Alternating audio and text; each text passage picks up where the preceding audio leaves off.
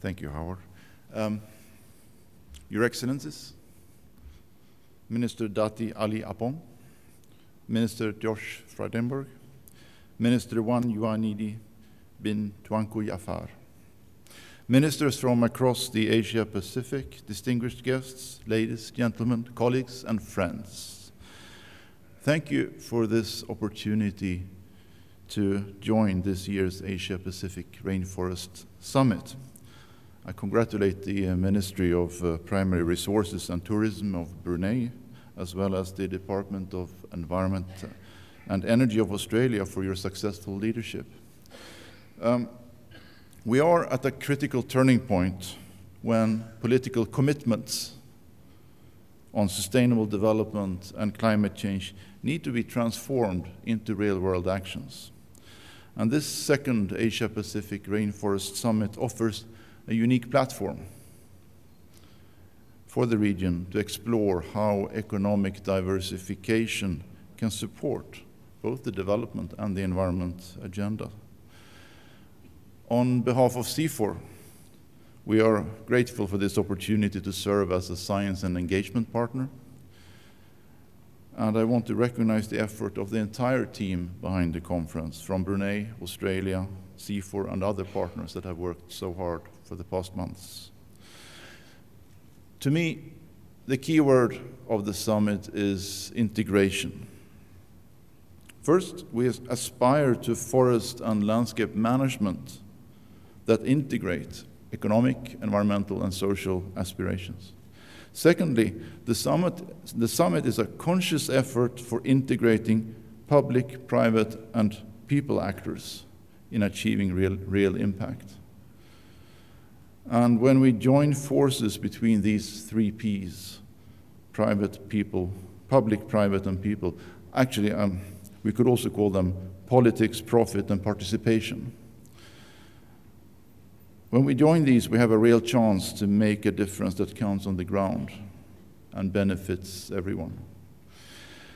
Thirdly, we seek to integrate forest and forestry issues into the mainstream of sustainable development. The new SDG framework is a tool and provides a language to make this happen. There's been a tendency to park forests and forestry in the environment corner.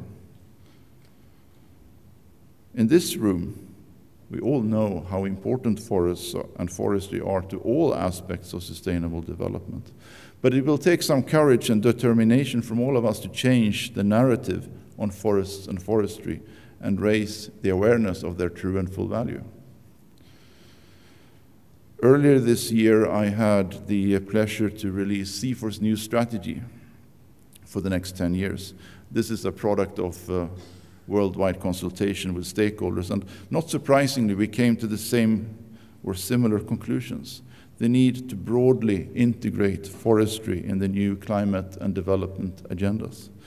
Uh, so rather than developing an isolated forestry approach, we need to build on the Agenda 2030 for Sustainable Development and on the Paris Agreement. Within both of these new frameworks, forests and forestry are expected to contribute in a diversity of ways to human well being and prosperity.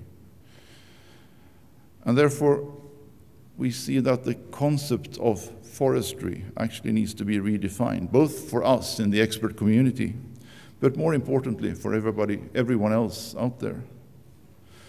So, this led us to define our mission, CIFOR's mission, around the full set of 17 Sustainable Development Goals to include all of them.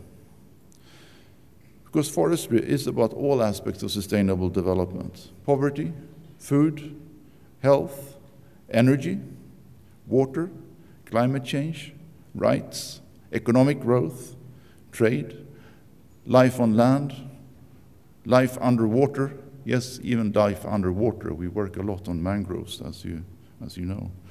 Um, so let, let us therefore redefine forestry and say that forestry is all contributions to sustainable development made possible through forests and trees.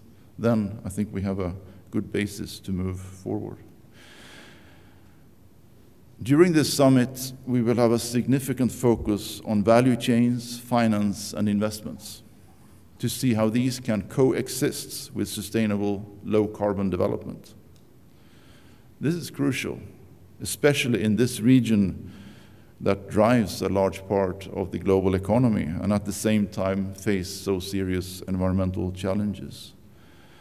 Addressing this requires us to look beyond land issues per se and also focus on the other classical economic parameters labor, capital, and innovation. Uh, there are some two specific challenges to mention here.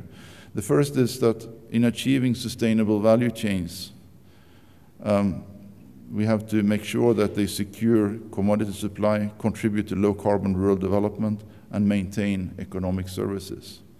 Second, is that smallholders and small and medium scale businesses are able to successfully compete and benefit from this integration in global value chains, and also to access fair, affordable, and long term capital under higher environmental standards. New commitments from the private sector are indeed encouraging, and we see a host of both challenges and opportunities here. This, this summit will be an excellent opportunity to discuss these further. Let me finish by saying that integration also pertains to integration around and across economic sectors. We will not realize the full potential of forest and forestry in sustainable development unless we work across traditional institutional boundaries. We shouldn't continue to nurture a separate forest and forestry agenda. Instead, I believe we must genuinely work together with our colleagues in agriculture, energy, water, finance, infrastructure, trade, tourism, education, and so on. The common denominator that brings us together in this quest is landscapes. Landscapes with a wide diversity in shapes, in sizes, they will be a cornerstone for the future we want. And in this region, multifunctional landscapes provide homes and livelihoods for 450 million people. So, bringing together people and their expectations to find good solutions in landscapes, including forests, is therefore to me the best investment we can make for future generations. So, again, thank you for this opportunity to speak at the opening of the summit. In case you wonder why I haven't said more about forests and climate changes, because the next session is on that topic and I'll be on the panel, so I've saved some of my points to that session. Thank you all for coming, and let's make sure that uh, we together make a difference that counts. Thank you very much. May we invite the chairperson to cordially invite the guest of honor to present a souvenir as a token of appreciation to the keynote speaker.